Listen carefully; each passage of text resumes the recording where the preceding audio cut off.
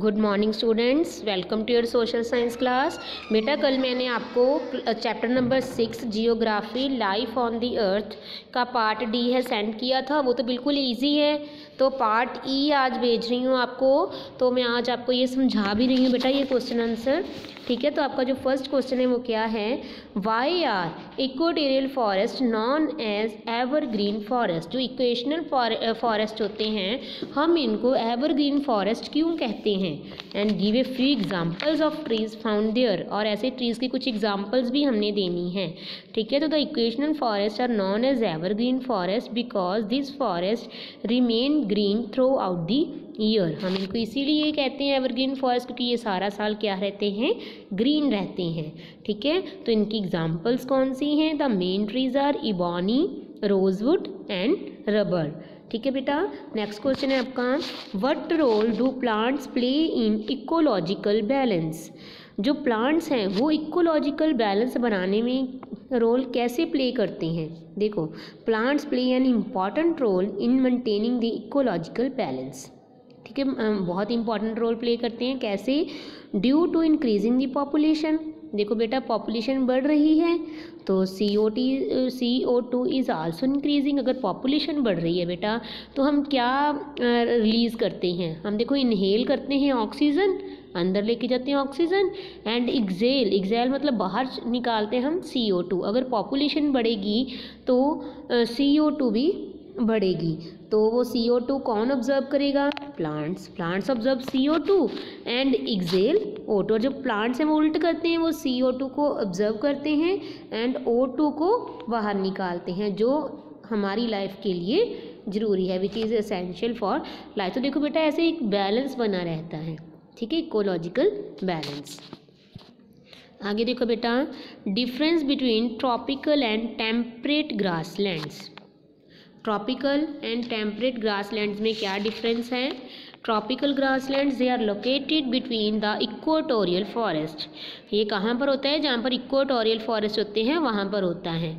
ठीक है? और जो टेम्परेट ग्रासलैंड है, ये कहाँ पर होते हैं? टेम्परेट जोन में होते हैं। ठीक है बेटा? ट्रॉपिकल ग्रासलैंड को कितनी रेनफॉल चाहिए? अबाउट हंड्रेड सेंटीमीटर और टेम्परेट ग्रासलैंड्स को about twenty five centimetre to seventy five centimetre and third point is tropical grassland है जो आर रफ वो रफ होती हैं, थिक होती हैं और काफ़ी टॉल होती हैं। ठीक है, लेकिन जो टेम्परेट ग्रासलैंड में ग्रास होती है, वो शॉर्ट होती है, लेकिन सॉफ्ट होती है। ठीक है इनके बीच में डिफरेंस है। आगे हमने हॉट और कोल्ड डेजर्ट के बीच में डिफरेंस को क्लियर करना है। हॉट डेजर्ट कहाँ है? These desert are located on the western margin of the continent continent के वेस्टर्न मार्जिन में है।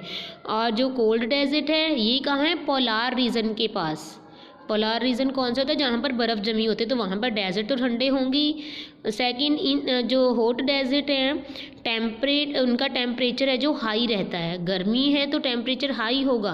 और इधर कोल्ड में बहुत ज़्यादा बर्फ़ जमी होती है तो टेम्परेचर वो क्या होता है? ज़ीरो डिग्री से भी नीचे चला जाता है। Temperature remains below zero degree third point बेटा हॉट डेजर्ट में कौन कौन सी वेजिटेशन है वो मिलती है? कैक्टस श्रब्स बुशीज़ ये कॉमन वेजिटेशन है हॉट डेजर्ट में। और कोल्ड डेजर्ट में मॉसिस लीचेंस ये कॉमन वेजिटेशन है कोल्ड डेजर्ट की। ठीक है बेटा? आगे फिफ्थ क्वेश्चन है what are the various problems related to the ecological imbalance अगर इकोलॉजिकल बैलेंस नहीं है मतलब इकोलॉजिकल इम्बैलेंस हैं तो हमें कौन कौन सी प्रॉब्लम्स है जो फेस करनी पड़ती हैं? What steps should we take to solve them और हमें कौन कौन से स्टेप उठाने चाहिए इकोलॉजिकल इम्बैलेंस वाली प्रॉब्लम को दूर करने के लिए? सबसे पहले वो कौन कौन सी प्रॉब्लम है?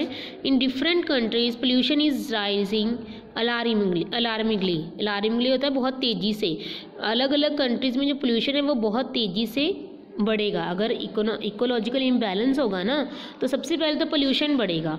Second if you glaciers have also started melting in polar ice caps और जो टेम्परेचर हाई हो जाएगा, और जो ग्लेशियर पर बर्फ़ होगी, वो मेल्ट होनी शुरू हो जाएगी। ये दो मतलब क्या होगी? हमें प्रॉब्लम फेस करनी पड़ेंगी। ठीक है बेटा? और उनको सोल्व करने के लिए हमें कौन कौन से स्टेप उठाने चाहिए? Afforestation should be taken on a large scale देखो, हमने फ़र्स्ट पॉइंट में पढ़ा कि पोल्यूशन बढ़ रहा है, ठीक है? तो अगर हम एफोसिएशन मोर एंड मोर जो ट्रीज़ है वो प्लांट करेंगे तो इससे जो है इकोलॉजिकल बैलेंस बन जाएगा और हम इस प्रॉब्लम को सॉल्व कर सकते हैं। Second hunting of animals should be strictly ban animals की हंटिंग को भी बैन करना चाहिए कि किसी ने भी कोई हंटिंग नहीं करनी तो इससे भी इकोलॉजिकल बैलेंस है वो बना रहेगा। ओके बेटा, आपको ये पार्ट आई होप समझ आ गया होगा बेटा, इसको आपने नीट एंड क्लीन अपनी कॉपी पर नोट करना है। ओके बेटा हैव अ नाइस डे बेटा।